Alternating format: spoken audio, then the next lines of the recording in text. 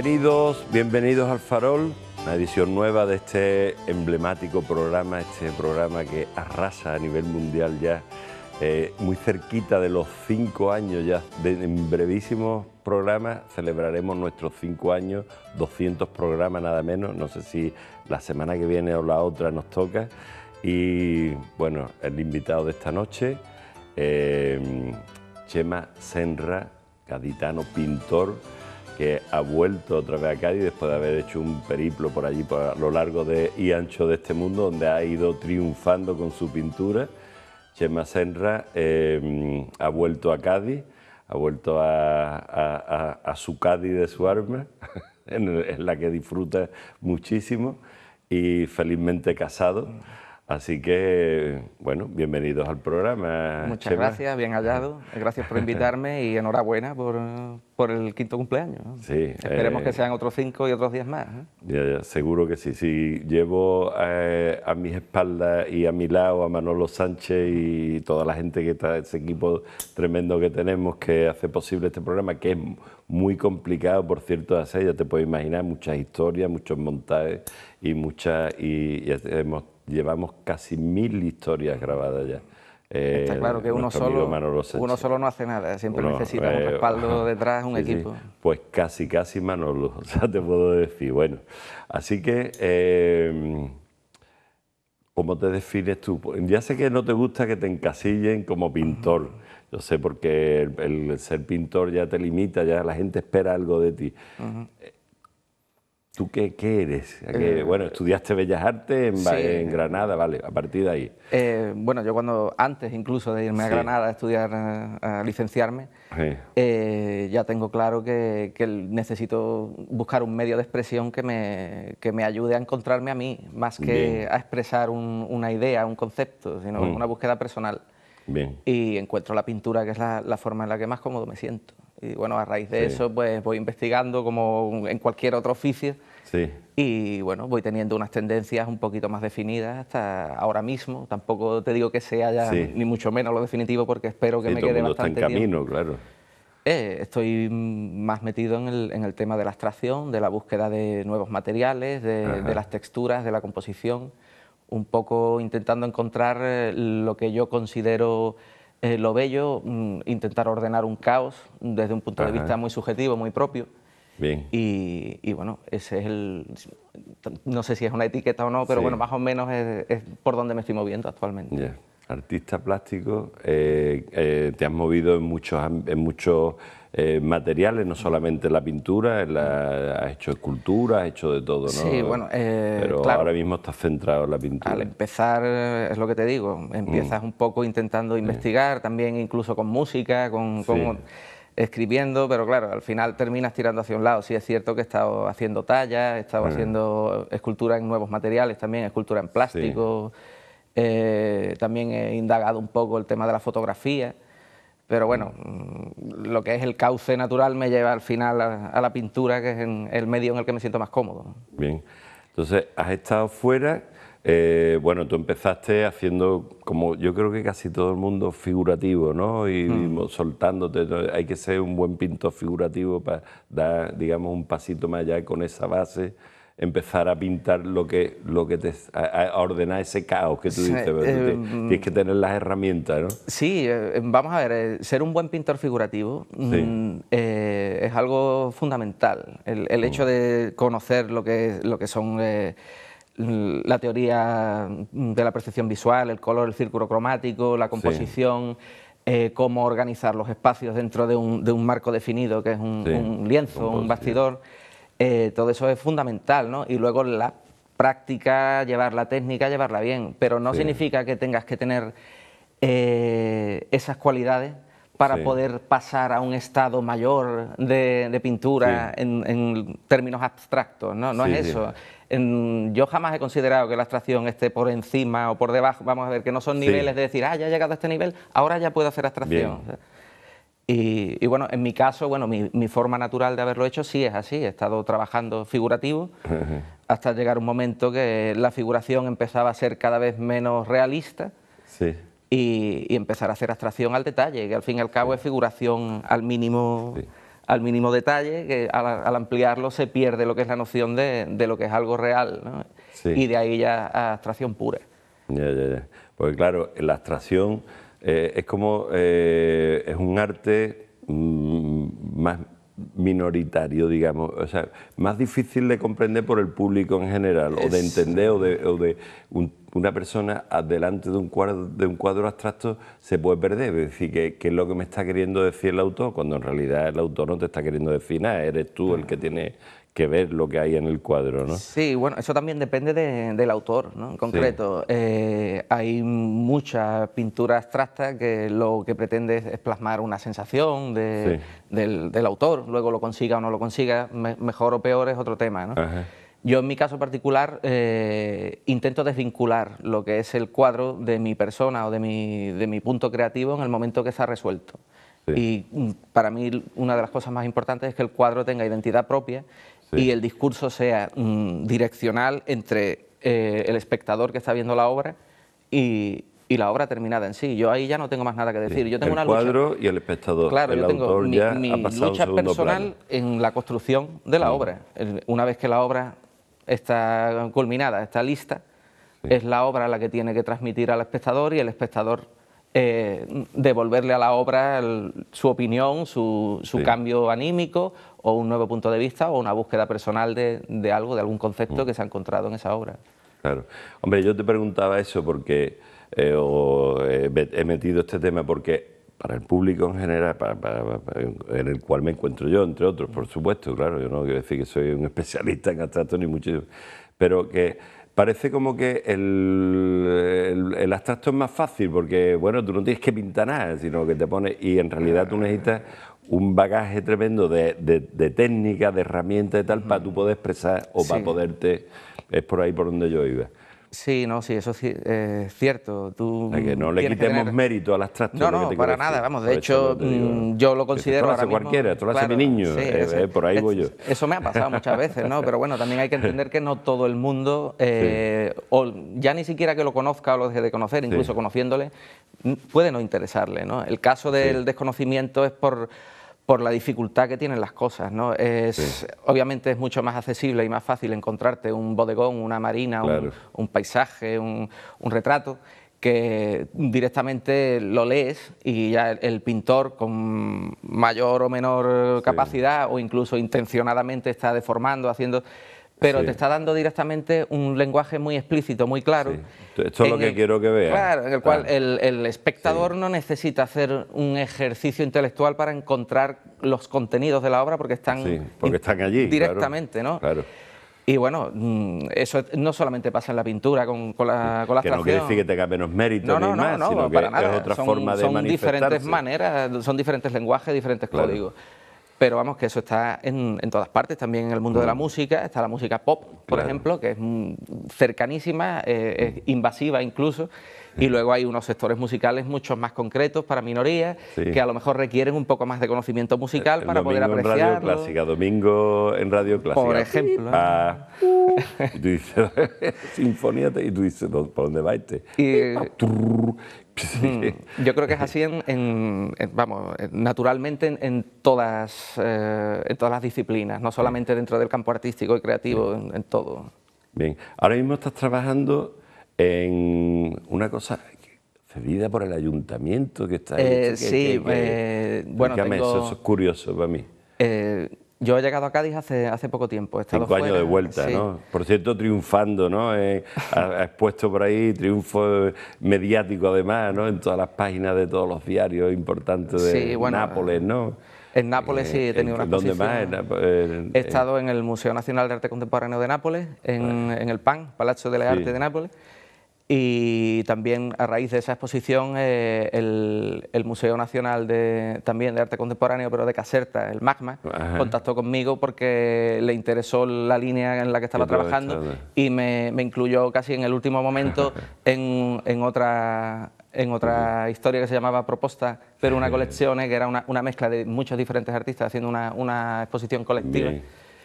Eh, allí. Y bueno, a raíz de eso ahora tengo que volver este verano de nuevo. Vale, vale. Porque tengo... No, era, no, has sido profeta en tu tierra porque no triunfaste todavía así en el sentido amplio de la palabra antes de irte. Eh, pero ahora, bueno, eh, vienes con esto y dices, bueno, aquí está el Chema.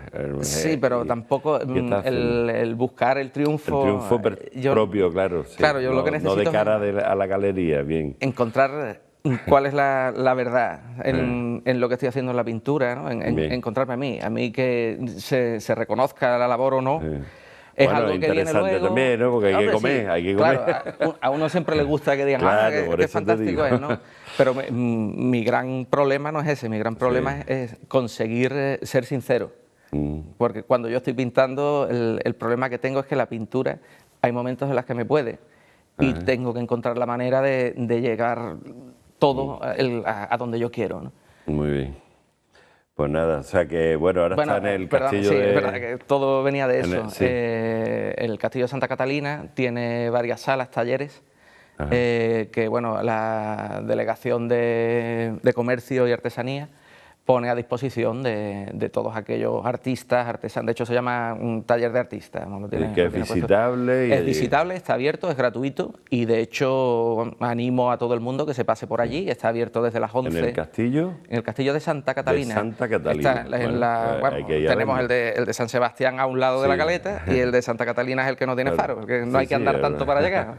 bien, bien. Bueno, pues nada, iremos a verte. desde las 11 de la mañana está abierto al público hasta las 8 y media, sin cortes. Eh, quiero decir, domingo incluido, no cierran a mediodía. No dais croqueta, pero bueno, se puede visitar. Hombre, si alguien las lleva también se agradecen. que las lleve alguien, bien. Bueno, pues nada, tú sabes cómo funciona nuestro programa, cinco historias, de las cuales una es un trolazo gordo. Vamos a empezar con la primera, ya del tirón. José María Esteban nos va a contar.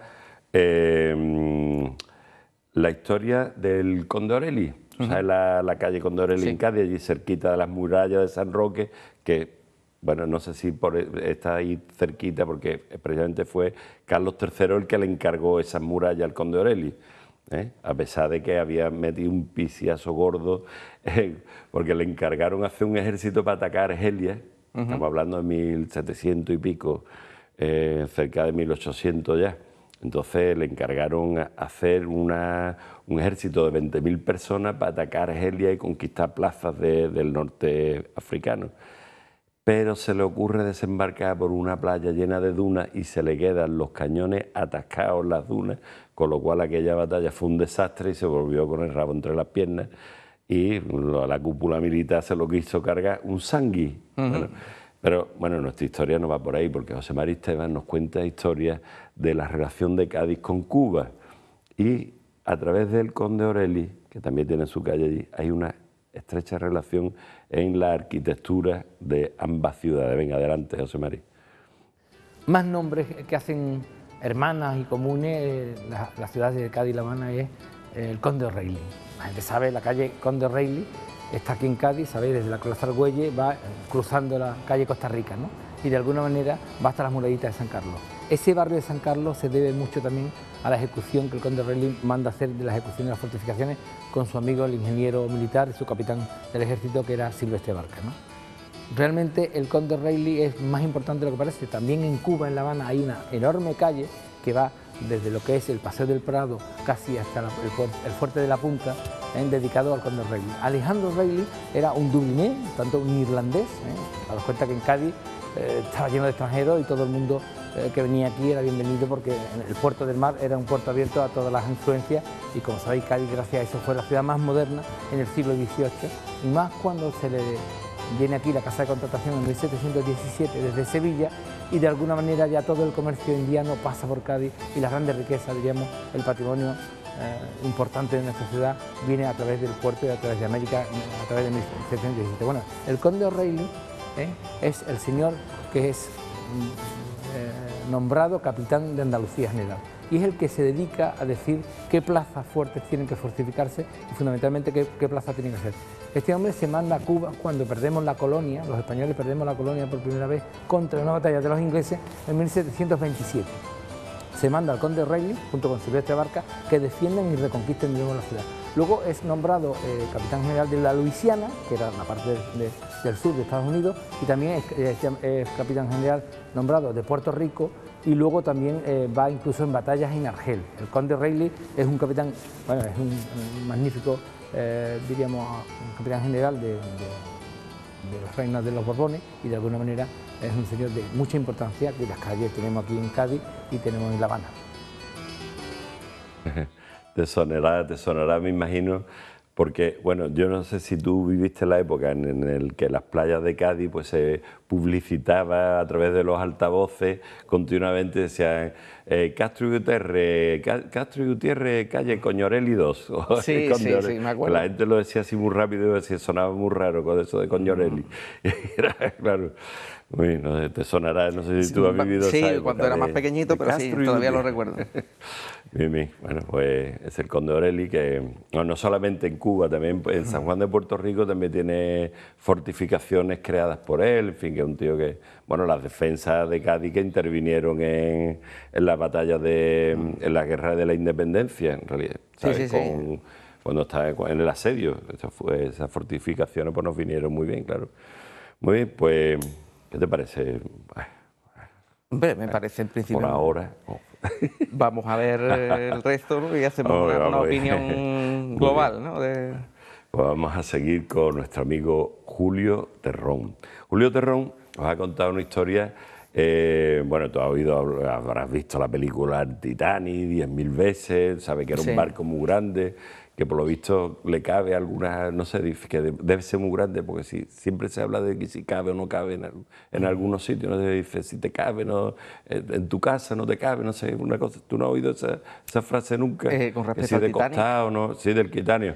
No. Del el Titanic de costado, no sé, yo he oído algo de eso de, de, de, tamaño, ¿no? En cuanto a tamaño. Bueno, pues en Cádiz hemos tenido también un Titanic, el Titanic chiquito, lo mismo que tenemos el carnaval chiquito, el corpus chiquito, pues el Titanic chiquito. Titanic chiquito también. Esa es la historia que nos va a contar nuestro amigo Julio Terrón, experto, entre otras cosas, aparte de en historia en general, en la historia naval gaditana. Bueno, la historia que me gustaría contaros ahora, esta tarde, esta tarde tan soleada, es que en Cádiz hubo también, como no, un Titanic chiquito, como no iba a ser de otra forma. Eh, la historia es la siguiente. En Cádiz existía una compañía naviera llamada Pinillos que estaba eh, luchando siempre por llevarse los embarques de otra compañía española llamada Transatlántica. Y para conseguir más pasajeros se le ocurre encargar a Glasgow, a Inglaterra, dos grandes barcos gemelos, el Santa Isabel, eh, la Infanta Isabel y el Príncipe de Asturias, y eh, decide pues hacer la competencia. La historia comienza alrededor de 1916, el 17 de febrero, donde el barco que el eh, Príncipe de Asturias está en Barcelona cargando pues 20 estatuas de bronce de 800 kilos en cajas de madera para llevarla a Argentina para celebrar el, centenario de la independencia de Argentina. Bueno, pues la clase social alta, los vascos, los catalanes, embarcan confiados en Barcelona y ese barco pues es un barco de lujo completo, no tenía nada que envidiarle excepto el tamaño al buque Titanic. Eh, por ejemplo, tenía un comedor de caoba, una sala de música, estatuas de, bronce dorada, sedas y oro en las tapicerías, era un barco de lujo. Bueno, pues este barco, eh, como decimos, sale el 17 de febrero de 1916, recala en Valencia, para en Cádiz recogiendo pasajeros y después se va a Canarias. En total embarcan unos 588 personas con tripulante y tripulación. Era un barco como el Titanic, que estaba clasificado en 150 personas de primera clase, 150 de segunda, 120 de tercera y, la posibilidad de 1.500 emigrantes. En total podía albergar 2.000 personas. Bueno, pues se dirigía para cruzar el Atlántico y ser capaz de llegar al puerto de Santos en Brasil. El tema es que cuando el capitán eh, José Cotina, que era un experto naviero de la compañía, que llevaba 15 años trabajando con ella, llega a las inmediaciones de la costa, se encuentra un tormentón donde el cielo está completamente encapotado y estamos hablando ya de la noche del 3 de marzo de 1916. No pueden ver la latitud por la que están navegando porque ellos usan el sextante y al haber nubes no pueden ver los astros, luego tienen que navegar a estima. Y durante tres días van siendo arrastrados por las corrientes, con una corriente en contra que no los deja avanzar, y van a estima sin saber exactamente dónde están.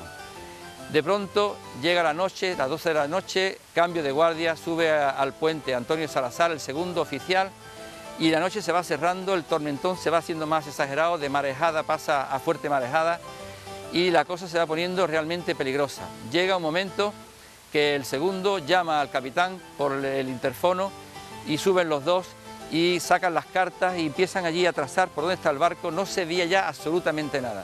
Empiezan a asustarse y de pronto a proa ven un destello y después inmediatamente un segundo destello. Dios mío, está enfrente, dice el capitán, estamos frente al faro de Punta de Boy, que es un faro que está rodeado de rocas. Eh, no le da, orden de echar marcha atrás, de cerrar con puertas, de parar la máquina, pero en ese momento el barco sube los arrecifes, porque llevaba 10 nudos de velocidad, cae violentamente, se raja de popa a popa y en un segundo empieza a entrar agua. Han caído, se han arrancado las calderas, han muerto todos los maquinistas, ya no se pueden cumplir las órdenes y una segunda ola le da por el puente, lo vuelca de proa, lo hunde de proa y asoma la popa con sus hélices. Bueno, se salvaron de los 588 personas, 143, y los testigos dicen que aquello fue dramático, no fue tan generoso la situación como en el Titanic, no hubo tiempo. De hecho, por ejemplo, un camarero que llevaba un chaleco salvavidas fue acuchillado por un pasajero para quitarle el chaleco. Eh, un padre intentó salvar a su familia, a su madre, eh, su mujer y sus tres hijos, pero al llegar al puente pues los perdió. Y al día siguiente, al mediodía, un barco francés encontró todo el, aspecto dantesco de los muertos flotando, los muebles de caoba y el abandono del barco. Eh, últimamente, en 1989, el gobierno de Brasil, o 92 creo, ha querido rescatar esas estatuas y solamente ha conseguido salvar una, que está en el Museo de Río de Janeiro, y que nos recuerda un poco esa tragedia, pero que aquí en Cádiz no se conoce y que yo he querido como homenaje traerla para vosotros esta tarde. Muy bien, ¿qué te parece? Curiosa la historia, no sé si se la habrá inventado. Que yo desde luego no la conocía. ¿eh? Desbordante, una imaginación desbordante, pero bueno, que de cualquier manera es una historia muy bonita, ¿no? Sí, sí, sí, y muy bien contada. Sí, sí, por supuesto. Quiero decir, si no es real, si no es verdad, está muy bien contada. Con mucho dato y mucho y, más que la estás viviendo, estás sufriendo. Sobre todo ¿eh? por los muebles de caoba, ¿no? Por los muebles, no, yo por otra cosa. Eso, si, hubieran muerto de otra manera, ya, estarían todos muertos de otra forma, que más de una forma que de otra. Qué maldad Hombre, yo pienso, vamos a ver, eh, a mí me asom... yo todavía no voy a dar una, un veredicto porque faltan historias, pero bueno. Espérate, espérate, pero bueno. Bien, ¿no? Sí, sí, sí. sí, la dejamos ahí y seguimos. El tema es eso, calcular con las demás y ver, a ver, esta ya me suena un poquito más. Bueno, esto es un juego de cartas al eh, final. Por eso, por eso, no me voy a mojar todavía. ¿A dónde está el faro? Venga, vamos a seguir con nuestro siguiente mm, historiador además, en esta ocasión es que es historiador de em, Javier Fornel, aparte de magnífico escritor, que escribió un libro, por cierto, de con el mismo nombre del. Nos va a hablar de Pedro I el Cruel. Le escribió un libro de Pedro Cabrón. Así, tal cual. directamente. directamente, así, llamarme cabrón, se llama el libro.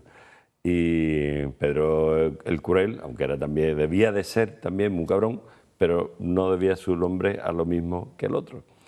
Él nos va a aclarar ahora mismo seguidamente, así que adelante Javier Fornel, venga. A día de hoy nos quejamos de, nuestra monarquía muchas veces. Decimos que si el rey Juan Carlos está cazando elefantes en Bosagua o que si hay, bueno, pues dejémoslo en personas no gratas en la familia. La realidad es que nuestra historia, la historia castellana y la historia española de su monarquía, más bien, está jalonada de reyes con una fama, digámoslo, incierta. Uno de ellos, para mí uno de los más bonitos, uno de los reinados más bonitos, porque él desde luego no lo era, pero sí su reinado fue el de Pedro el Cruel. Pedro el Cruel o Pedro el Justiciero, dependiendo, era un hombre bajo, blancucho, enfermizo y, y absolutamente loco, totalmente loco. Aún así, tuvo un reinado apasionante, un reinado que fue muy bueno para Castilla porque dio mucha ayuda sobre todo al pueblo, quitándosela a los grandes señores y a los grandes nobles, pero que tuvo una parte negativa. La parte negativa fue que el rey era absolutamente caprichoso. Por ejemplo, uno de, de sus mayores logros fue asesinar a un niño de 12 años. ¿Por qué? Simplemente porque no le caía bien. Otro de los logros suyos fue casarse y repudiar esa misma noche a la hija del rey de Inglaterra. ¿Por qué? Porque le gustaba lo suficiente como para acostarse con ella, pero no lo suficiente como para vivir con ella. Pero sobre todo será recordado por una pequeña manía o pasión, como queramos llamarlo. En otros lugares del mundo hablaríamos de un Vlad el emperador, por ejemplo, ese mito de Drácula, ¿no? Pues lo tuvimos también aquí. Pedro el Cruel, una de sus cosas, que una de sus pasiones, como digo, era desayunar viendo cómo empalaban a cualquiera que en un momento dado le hubiera llevado a la contraria. Ya digo, un rey apasionante en su reinado que tuvo unos gustos cuanto menos extraños. No historia, ¿eh? un niño. Hombre, es que hay algunos niños que son para matarlo, ¿eh? Bueno, lo que pasa es que... figuradamente, hombre, vamos a ver. Por eso se dice cuando seas padre comerás huevos, no te queda más remedio. Sí, los míos no, ¿eh? Los míos son fantásticos. Han salido todos estupendos, oh, enhorabuena. Gloria, fantástico, de verdad. o sea que por ahí no tengo que... Pero bueno, Pedro el Cruel, ¿te ha gustado la historia, sí, no? Sí, y esta me, resulta más cercana y un poquito más, sí. Más, sí, todos hemos escuchado hablar de Pedro el Cruel y su empalamiento. Así que, bueno, nos vamos ahí a publicidad, volvemos en 32 segundos. No se nos vayan. Viva Cádiz.